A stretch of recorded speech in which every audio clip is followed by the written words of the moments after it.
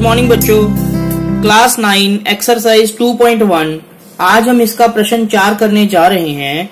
निम्न बहुपदों में बहुपद की घात लिखिए।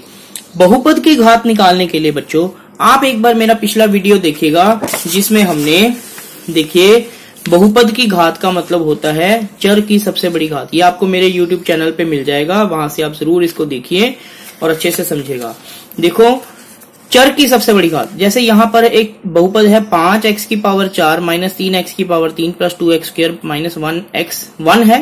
इसके साथ कुछ नहीं है, यानी एक्स की पावर है ज़ीरो तो चर की सबसे बड़ी घात, चर क्या है इसमें? एक्स यहाँ एक्स एक्स एक्स एक्स है इसकी चर।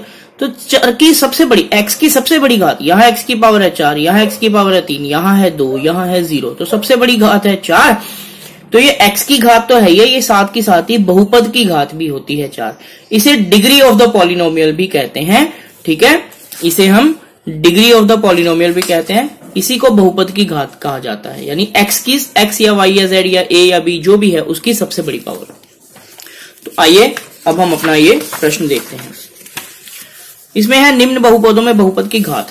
तो सबसे पहले पाँच एक्स की पावर तीन प्लस चार एक्स की पावर दो प्लस सात एक्स तो इसमें आप क्लियरली देख पा रहे हैं कि x की पावर यहाँ है तीन, यहाँ है दो, यहाँ है वन यहाँ कुछ नहीं लिखा, यानी एक लिखा है।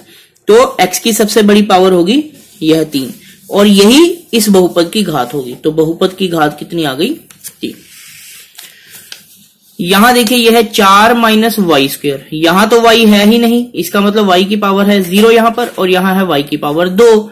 तो y की पावर ज़ीरो y की पावर दो ज़ीरो दो, बड़ा क्या है? दो। तो यही दो जो है ये इस बहुपद की घात होगा तो बहुपद की घात आ जाएगी दो।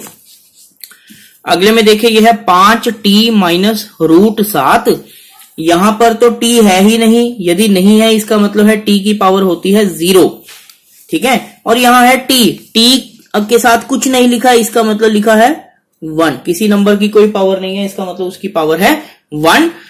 तो पाँच टी की पावर वन और टी की पावर ज़ीरो इसमें से बड़ा है वन तो जो इस बहुपद की घात होगी, वो होगी ये वन।